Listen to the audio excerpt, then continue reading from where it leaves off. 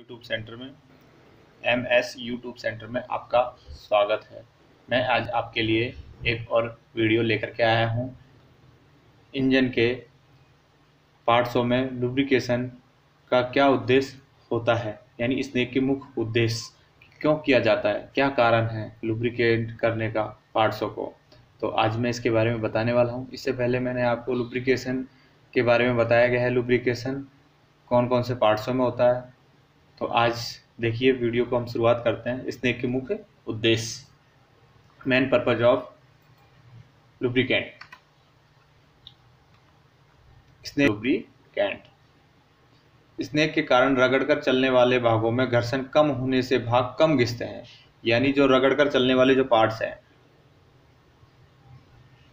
घर्षण होता है उनके अंदर। इस कारण वो कम घिसे। इसमें इनके बीच में एक फ़िल्म बनाई जाती है।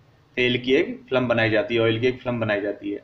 सेकंड है, घर्षण के कारण उत्पन्न आवाज़ कम करना। यानी घर्षण जब होगा तो आवाज़ ज़्यादा आएगी।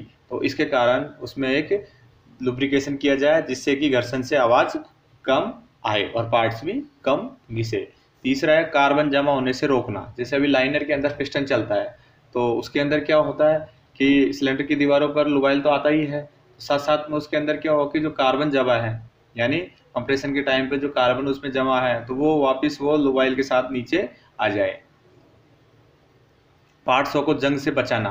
पार्ट्सों को जंग से बचाना। यानी लुब्रिकेशन करेंगे तो उसमें जंग नहीं लगेगा। ऑक्सीडेशन को रोकना। ऑक्सीडेशन जो होता है, उसको भी रोकने का काम करता है। लुब्रिकेशन के कारण रगड़ खाने वाले भागों का तापक्रम नहीं बढ़ता है, जिससे उनके आयतन में वृद्धि नहीं होती है। लुब्रिकेशन करने से क्या है? पार्ट्स गर्म होते हैं और गर्म होने से उनका तापक्रम बढ़ता है। यदि तापक्रम बढ़ेगा तो क्या सीज हो जाएँगे? इसके कारण उसमें लुब्रिकेशन किया जाता है, जिससे कि उनका तापक्रम यानी टेम्परेचर उसका नहीं बढ़े। इस कारण लुब्रिकेशन किया जाता है। घूमने वाले विभिन्न भागों की सफ़ाई होती रहती है। तो जो मूवेबल पार्ट्स हैं, यानी घूमने वाले जो पार्ट्स हैं, उनकी क्या सफ़ाई होती रहती है? वहाँ पे जो पार्ट्स एक दूसरे से रगड़ कर चलते हैं और घूमने वाले जो पार्ट्स हैं तो उसके अंदर जब मोबाइल जैसे ही जाएगा तो क्या होगा? उसके अंदर सफ़ाई होती रहती है, जिससे धातु के महीन कणों द्वारा घिसावट भी नहीं होती है। जो महीन कण है, वो वापस मोबाइल से के साथ साथ और वहाँ से आ जाएँगे, जिसके कारण उसमें घिसावट नहीं होती है। तो के मुख्य उद्देश्य हैं। देखिए थैंक यू फिर आपको एक नए वीडियो के साथ आपसे मिलेंगे। और all of you watching my video please subscribe share and like यदि आपने मेरा वीडियो